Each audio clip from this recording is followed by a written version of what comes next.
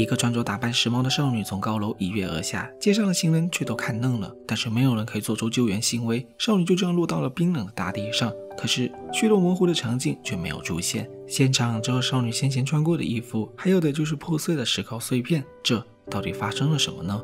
少女跳楼案件吸引了全国人的注意，高层领导必须给民众一个合理的解释。最后，这个少女被检测出患有一种传染性极强的石化病，并且潜伏期高达六十天之久，死亡率几乎是百分之百。而以目前科技水平，根本没有任何办法可以预防或者治疗。就在群众人心惶惶之时，有个组织维纳斯站了出来，说自己机构可以收留一百六十个感染石化病的患者，他们拥有最先进的技术，可以让人进入半睡眠状态。虽然无法绝对预防病毒恶化，但却可以最大程度的拖延时间。等到世界有技术可以治疗石化病，再将睡眠人给唤醒，这本来是一个很好的消息。但是不管是联合国，亦或者是群众，其实大家都对维纳斯有些不感冒。因为他们总感觉这个病毒，他们机构搞出的生化危机，再不然就是需要人体做实验而找的一个借口。但不管舆论指向何方，维纳斯收留了一百六十个患者的事情却进展顺利。很快就有大巴车有秩序的带着一群患者前往维纳斯，有人欢喜，有人忧。虽然不知道这次维纳斯的话是不是真的，但患有石化病的人却把这次机会当做自己重生的机会。可是，一对双胞胎姐妹小娜和小霞却是充满忧虑，因为小霞成为了幸运儿，可是小娜却没有被选上。等到了维纳斯后，她们姐妹就要被迫分开。不过，两姐妹还是拉钩约定，一定要在未来见到彼此。自从父母去世后，她们两姐妹就一直相依为命。就这样，小霞被戴上了一个维纳斯给出的手环，之后他们的一切生活都会通过人工 AI 爱丽丝来给他们进行安排。维纳斯管事维加说，所有人都离不开爱丽丝，因为那个手环就是监视这些患者体内的病毒残留。一旦手环变黑，就代表着病情开始恶化。这个时候，爱丽丝便会对着患者进行冷冻睡眠，以最大限度的保住生命。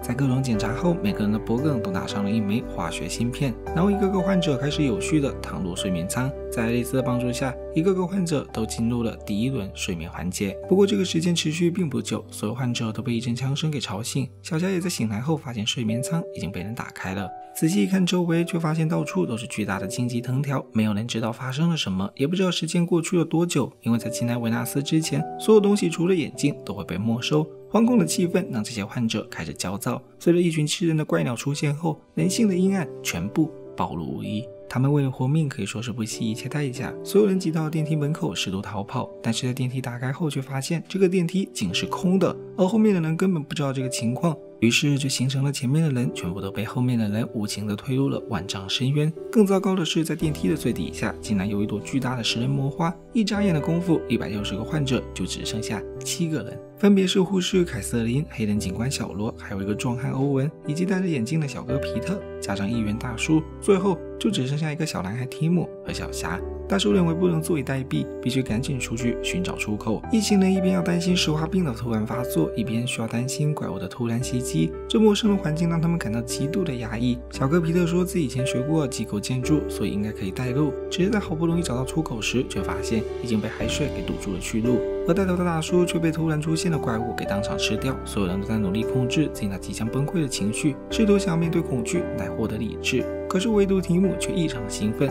因为他发现这些怪物似乎和自己以前打游戏的时候遇到的一样，一行人无奈只能跳水逃命。幸运的是，在皮特的带领下，他们最终来到了武器仓库。加上提姆的告知，众人决定尝试怪物的落点是否正确。果然，提姆给出的情报完全符合。通过找到了武器而暂时解决了怪物，但是他们子弹已经为数不多了。可即便知道前方的路充满危险，但是他们也已经对等待救援不抱任何希望，因为这里出现的情况充满异常，显然已经无法用正常路逻辑去解释，所以只有往前走，他们才有活下去的可能。但是在没有怪物的袭击，一行人的大脑就开始冷静。他们发现带路的小哥皮特脖子上戴着一条项链，这个情况只有一个解释：他不是一百六十名患者中的一员，维纳斯的案件也不可能漏掉这条项链。眼看着自己被其他人盯上后，皮特就用小霞作为人质而推到了电梯里。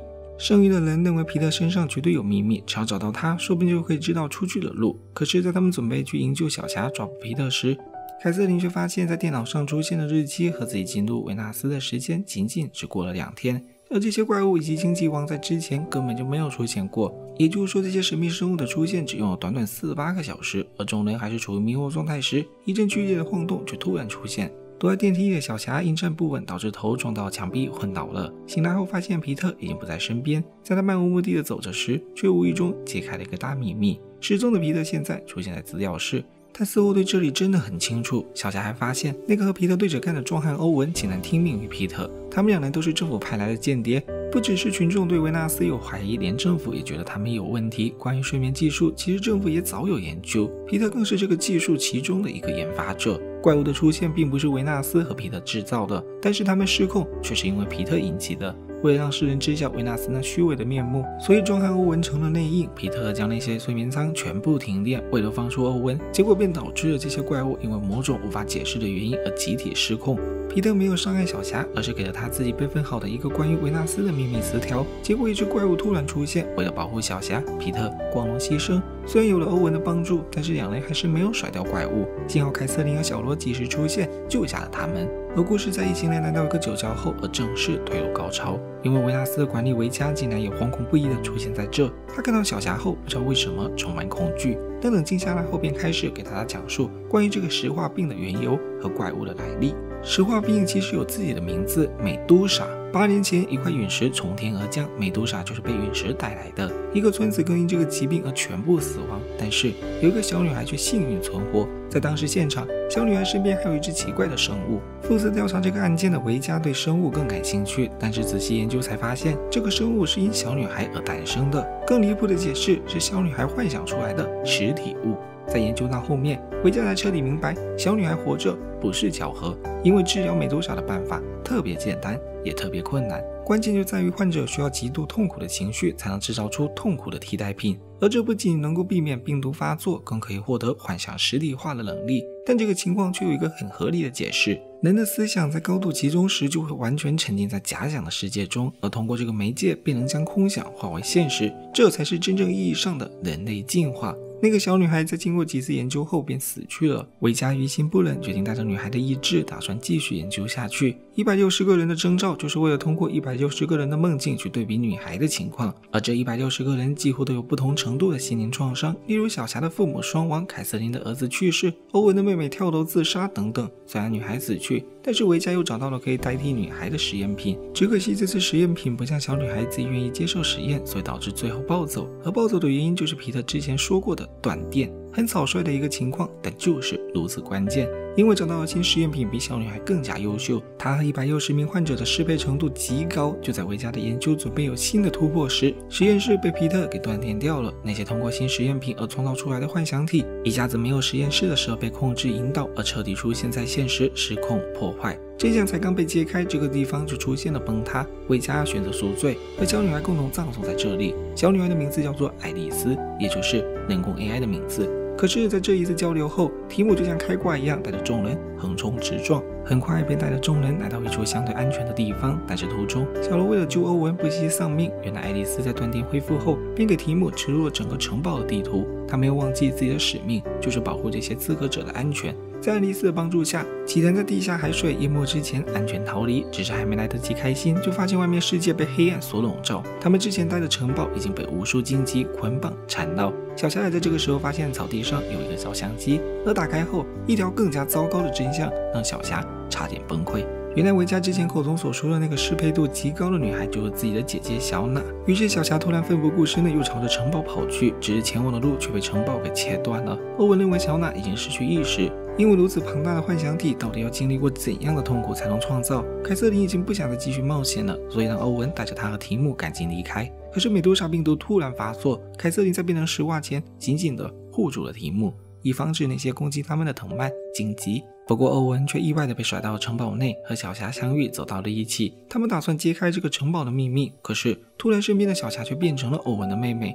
他在阻止欧文继续前进，妹妹的攻击很凌厉，但却不致命。想到爱丽丝无法创造生命，小娜的幻想体也不可能演变成自己的妹妹。于是欧文想到自己刚进维纳斯时被打过一个生物芯片，所以举枪毫不犹豫地对着脖子开枪射击。果然如他所想的一样，妹妹从自己眼前消失。这是爱丽丝给他们大脑投射的影像。爱丽丝还告诉欧文，他们六人都只是为了保护小霞的安危，因为小霞和创建这个幻想世界有着很大的关联。摆脱梦境的欧文决定关掉爱丽丝系统。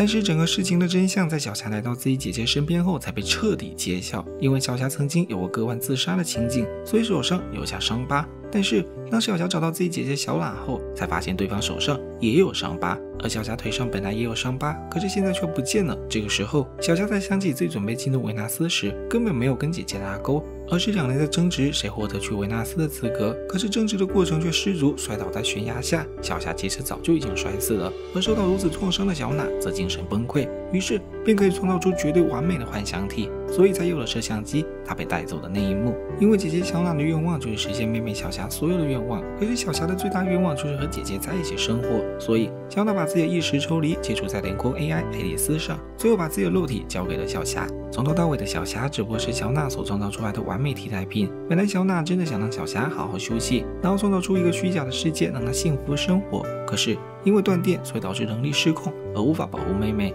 毕竟那些幻想怪物都跑到了现实中。他安排六人保护小霞，试图隐瞒她不是真正意义上的活人，而是幻想体的事实。最后再制造出无数藤蔓，试图掩盖这个世界只过去两天的真相，好让小霞以为自己是还活着。但是当这个梦想，也就是梦境被揭开后，那么她的存在就毫无意义，梦想破碎。小奈在自己要彻底崩塌前，把小霞推了出去。两人还通过这个方式真正的拉钩，城堡也在塌崩。几个人就只剩下提姆和小霞，两人未来的生活该何去何从，无人而知。起码小霞现在要带着小娜的期望生活下去。